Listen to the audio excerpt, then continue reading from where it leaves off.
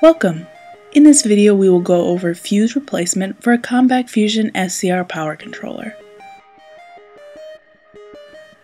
You will need the following, a number 2 Phillips bit screwdriver, and a small flathead screwdriver.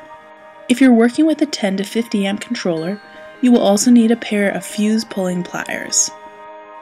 An 80 to 160 amp controller will also call for a number 3 Phillips bit and a torque wrench.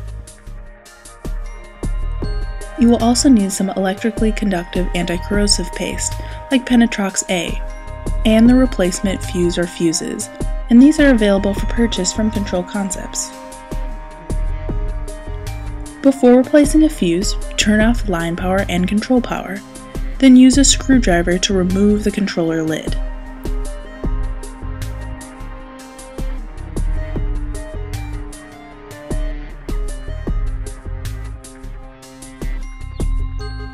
Disconnect the display wire and set the lid aside.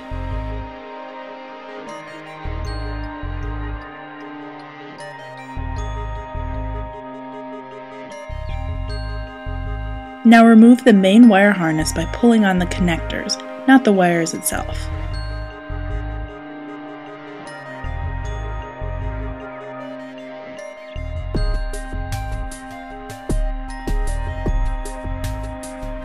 You will also need to remove the flat flex cable as shown. Pull the key toward the cable from both edges of the connector. The key tabs will stay attached to the connector.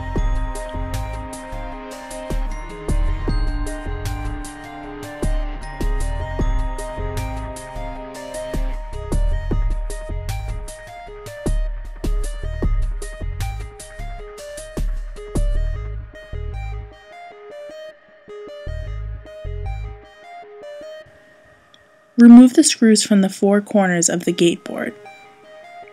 Gently lift this board out of the controller.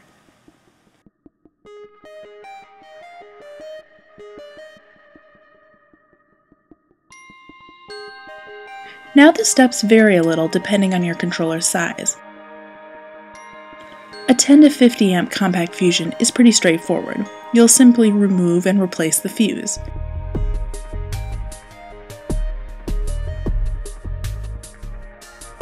We'll focus more on the 80 to 160 amp sizes. These controllers have fuses attached to insulators. Here is a 160 amp controller. We remove the screws, paying attention to how the bus bars, wires, and lugs are oriented.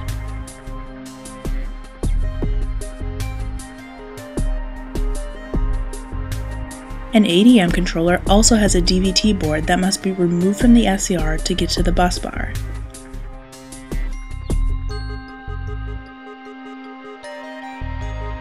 Once you've removed the fuse, take the new fuse and apply a thin layer of conductive anti-corrosive paste where it contacts the lug and the bus bar. Insert the fuse, reattach the red wire with the ring terminal and the lug. Torque the screws holding the fuse to 75 inch-pounds. For an 80 amp controller, you'll do the same. Torque the screws around the fuse to 75 inch pounds, and then reattach the DVT board and torque the standoffs to 25 inch pounds.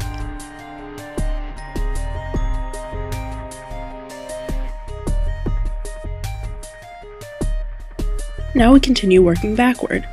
Connect the leads from the current transformer. Reinsert the gate board with the four screws and keep the board supported and not overstressed while you connect the insulation displacement connectors. Next, connect the flat flex cables, starting with the shortest.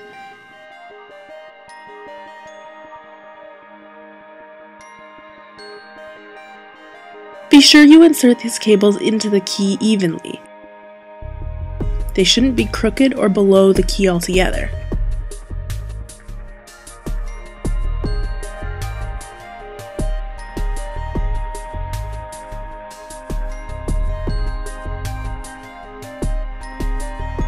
reconnect all the wiring to the correct headers, as well as any fan wires if present.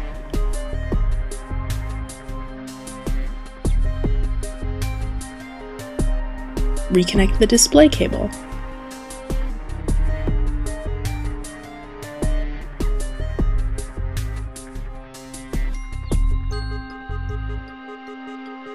Reattach the controller lids. And finally, apply control and line power and make sure a blown fuse indicator is not present. For more information or assistance, download the Compact Fusion installation manual from our website at www.ccipower.com or contact the experts directly by calling Control Concepts Incorporated.